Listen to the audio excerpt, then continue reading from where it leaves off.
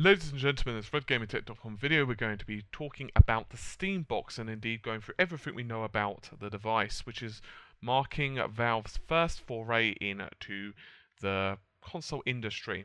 Valve, of course, are responsible for, well, Half-Life, which is one of the absolute biggest names in PC gaming, as well as Steam, another absolutely massive name in PC gaming, which is a platform which allows, of course, you to download games and DLC, as well as chat with friends and various other bits and pieces. Indeed, it even gives you achievements and so on.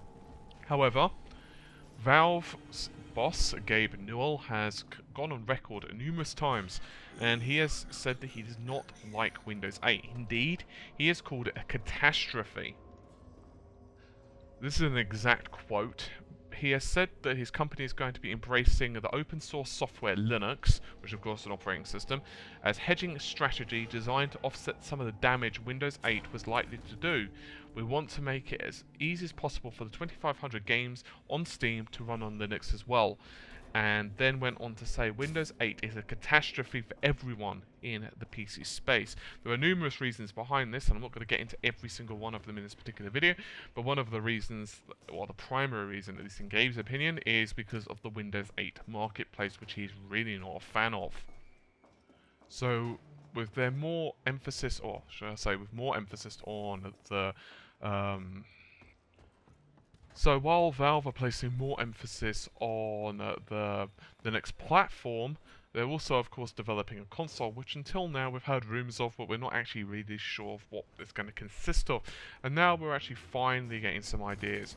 So before we actually jump into the new features, and before we jump into stuff such as speculation and rumours, I'm going to instead talk about the actual technical specifications, or at least what we consider to be the rough ideas of what the technical specs are going to look like. The computer manufacturer XI3 is to develop a custom PC, which is going to be pretty much the basis of the Steam box. And indeed, the Steam box is based upon the, the X7A system. So, despite the fact that Steam box isn't exactly due um, isn't exactly going to be like this, we can get an idea that it's going to be roughly around this. Anyway, the X7A boasts between 4 and 8 gigabytes of DDR3 RAM, a quad-core 64-bit 32nm processor running 3.2 gigahertz. That's got 4 megabytes of level 2 cache, and finally an integrated graphics card containing up to 384 programmable cores. Anyway, this whole setup costs about $1,000 which is obviously far more than most consoles. So it's possible that Valve are going to try to reduce that as much as possible. The entry-level X5A, from of course the same company, which also uses Linux, costs only $500, and you're like, what, how are you only there? Meanwhile, from Microsoft, Phil Harrison has issued Valve a warning on the dangers of entering into the, co the console marketplace. Phil Harrison, who also is serving to be Microsoft's Studios executive, is an ex-Sony PlayStation development boss, so he knows his way around the console industry, and he is quoted to say, entering the hardware business is a really tough business. You have to have a great fortitude to be in the hardware business, and you have to have deep pockets and a very strong balance sheet, it's not possible for every new hardware entrant to go to scale. They can be successful on small scale, but it's very rare for new hardware entrant to get to scale. And I mean tens or hundreds of millions of units. There are a very small number of companies that can make that happen. And it's not just having a great brand or having great software experience, it's about having a supply chain and distribution model and a manufacturing capacity, all the other things that go with it. It's a non-trivial problem to solve and it can take thousands of people to make it a reality. He also continued on and said, I admire Valve as a company and what they've achieved with Steam. And, um, well, I think that kind of sums up, really. Valve, of course, do have very deep pockets. That's one thing for certain. They do have the expertise, both already in-house and with their recently invested upon XI3. Now, of course, Valve do have a lot of experience when it comes to software, but when it comes to actual distribution of PC hardware, or shall I say console hardware, that's completely different. Despite all of this, it's a good chance that the system will be fairly popular, at least with a certain demographic, a demographic of gamers. But just how popular, well, who the heck knows. However, that isn't to say that that's the end of it. The Verge has had an interview with Mr. Newell, and he's explained that he likes the idea of hardware capable of streaming to multiple displays through local networks, and has gone on record and quoted, the Steam box will also be a server any PC can serve to multiple monitors, so over time the next generation, post-Kepler, which is an NVIDIA based um, graphics card, by the way, just in case you guys aren't aware. It's, well, more shall I say, the chipset of the NVIDIA-based graphics card. Anyway, getting back to the quote, you can have one GPU that's serving up to eight simultaneous game calls. So you can have one PC and eight televisions and eight controllers and everyone getting great performance out of it. While used to having one monitor or two monitors, now we're saying let's expand on that a little bit. He went on to say, we'll come out with our own and we'll sell it to consumers by ourselves. That'll be a Linux box and if you wish to install Windows you can. We're not going to make it hard. That's This is not some locked box by any stretch of the imagination. As a little aside, despite the fact that Newell has claimed that it's going to be Linux based, a Valve engineer, Ben Krasnow, has told Engadget that it might not be and has said that Valve has no plans to announce exactly what the company is doing until after 2013. So what about the controls for this thing? Well, Newell is definitely not a fan of motion controls and has actually said motion just seems to be a way of thinking of your body as a set of communication channels your hands, your wrist muscles, and your fingers are actually your highest bandwidth. So let's try and talk to a game with your arms essentially saying, oh, we're going to stop using Ethernet and go back to a 300 baud dial-up modem. He said that Valve is looking more seriously at creating a device that uses biometric data and gaze tracking. So what about the whole, can you actually sell it to people? You know, will people actually buy this thing?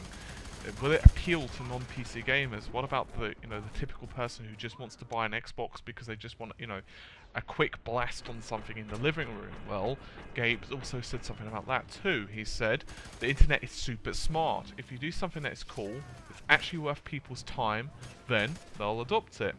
If you do something that's not cool and sucks, you can spend as many marketing dollars as you want. They just won't. So what are my predictions? Well, the market is extremely up in the air at the moment. We have a lot of new technology coming out. Of course, Project Shield from NVIDIA. And we have a lot of new mobile, um, well, a lot of new mobile technology. We have the PS4 and, of course, Xbox 720, assuming that's what they actually end up being called which is of course going to be winging its way to us probably by the end of this year or certainly early next. We of course have the Wii U, which is currently out, and from what I've heard is not selling too badly at all. So right now, it's anybody's ball game, and definitely the market is getting bigger. However, as Phil Harrison has warned, there is only a certain amount of wiggle room that companies have, and honestly, most hardware failures, well, most companies do end up with a failure on their hands. Indeed, even if you look at the original Xbox, it didn't sell that well. Many people agree, including Microsoft themselves, that the real reason for the Xbox One was to pretty much get their brand out there and to say, hey, you know what, um, this is what we're doing, and what do you guys think? It pretty much was a very expensive experiment on the part of Bill Gates and Microsoft themselves, but hey, they did get uh, Xbox Live out of it, for example. Whether we're going to see the same from Valve is unknown. And of course, the major problem for many of our consumers is price. Obviously, if for example it's $500, I'm just using this as an example, and let's say the Xbox 720 is $350, for most people it's not very difficult to understand. Plus, don't forget, let's say for example myself, I am typically a PC gamer Now let's say that I can see, I don't know, this sucker on the shelf, or let's go with, once again, $500. It could be, you know, $300, it could be $400, it could be $500, it could be less or more, who knows, but let's go with that. The thing is, for the most part, unless the you know experience is considerably better for cheaper, I'm typically going to go for the PC. Simply because, well, you can upgrade it and you've got so many more options. All of these are something to consider. So, I, I've no doubt, however, that Gabe is not an idiot he really does know what he's doing, so he's not going to just jump into something. Valve um, encountered some resistance even when the original Steam was launched. I remember when Steam, Steam was launched back in the day, especially with early Counter-Strike, when 1.6 was coming out, people really didn't like it. I remember there was a lot of complaints from, many of my friends, and they were just like, uh, "I'm getting disconnected again. Steam sucks. Uh, Steam sucks. Shall I say? It's too slow. It, you know, doesn't have a good games list, I think I'm getting more lag, what have you. Some of it wasn't even legitimate complaints to be honest, they were just saying it because they just didn't like it. And Steam has had many revisions and improvements over time, but, you know, they're no, they're no um, strangers to pretty much battling through it is really what it comes down to. Bear in mind that back then, although there was in applications to kind of unify PC gaming, it certainly wasn't to the standard that it is now and obviously back then it was far harder to buy games digitally. One of the real reasons for that is, you know, in the early 2000s you just didn't have the internet connection speeds that you do now. It's just one of those facts of life, and obviously now we're getting faster connections. Internet is becoming, well, a digital distribution medium, it's that simple. So yeah, how are we going to be seeing this in the not too distant future? Well, it's obvious the console's not going to be released this year. Um, it's probably going to be next, if um, well, I'd say within the next year or so, a pure push. So who the heck knows? It's very early to tell, and obviously they've not even real given the specifications yet. Anyway, I think that's about it for idle speculation, so what are your thoughts? What would it take for you to buy the damn thing? Would you be happy if it was a Windows box, or would you prefer to go the more open source Linux route, or don't you really care as long as you play the damn games? I am very interested to know what they're going to be doing with this whole biometric data thing, and if they actually really push it. To be honest, I've gone on record a few times and I've said that I don't really like motion controls. There are numerous reasons behind this. I just don't really feel that add anything to a game. Uh, there are a few exceptions behind this. There are a few games it does help, but generally I just don't really like it. Um, I isn't say that, you know, I'm against the Wii, I think it's a pretty cool console, but I just don't really find that motion controls add that much to my personal gaming experience, but it will be interesting to see another take on them. Not that, you know, biometric data is exactly another take, but you get the general idea. Anyway, I'm going to call this video, so hopefully you've enjoyed it, and I will see you around soon. Bye for now, take care of yourselves.